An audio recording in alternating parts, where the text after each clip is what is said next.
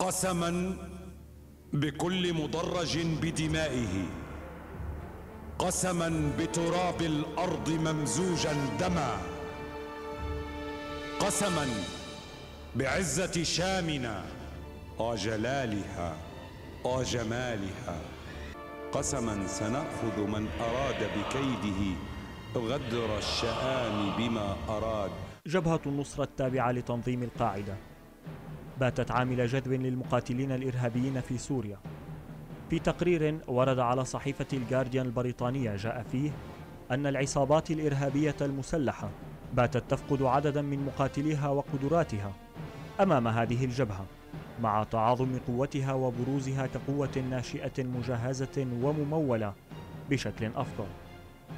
في تقرير يكشف الأدلة المتزايدة على تنامي قدرة جبهة النصرة الإرهابية وهيمنتها على المجموعات المسلحة التي تقاتل في سوريا. قالت الصحيفة إنها ومن خلال مقابلات أجرتها مع قادة ما يسمى الجيش الحر في أنحاء سوريا جمعت أدلة تؤكد تزايد قوة هذه الجبهة.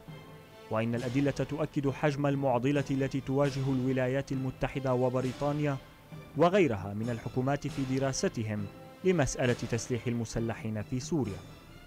وأضافت الصحيفة نقلا عن متزعمين فيما يسمى الجيش الحر أيضا أن وحدات كاملة انضمت إلى جبهة النصرة. في حين فقدت وحدات أخرى ربع قوتها أو أكثر أمام هذه الجبهة مؤخرا. وقالت الصحيفة إنه وفقا لأحد التقديرات فإن ما يسمى الجيش الحر فقد ربع عدد مقاتليه الكلي لصالح جبهة النصرة التي تملك عناصر يعملون بشكل سري بحيث يتمكنون من تحديد وإيجاد مقاتلين جدد لتجنيدهم. وأضافت الصحيفة أن الأيديولوجيا تمثل عاملا قويا آخر وراء انضمام المقاتلين إلى جبهة النصرة بسبب عقيدتها الإسلامية وتمويلها الجيد وأسلحتها المتطورة. وتابعت الصحيفة أن الحكومات الغربية تقول إنها على علم بالمشكلة المتمثلة بجبهة النصرة التي تخضع لمراقبة وكالات الاستخبارات لكنهم غير متأكدين من مدى هذه المشكلة. جبهة النصرة الإرهابية وباعتراف الولايات المتحدة الأمريكية باتت عامل جذب للأفراد الإرهابية.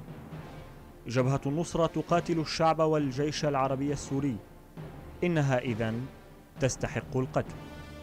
قسما بصادق وعدنا بطول الصبر أفرغه علينا الله أودع في ضمائرنا وأجرى في سواعدنا من سر أسماء له معنى العزيز المقتدر. قسما سنأخذ من أراد بكيده غدر الشام بما أراد. قسما بذاك ونحن نحن الصادقون.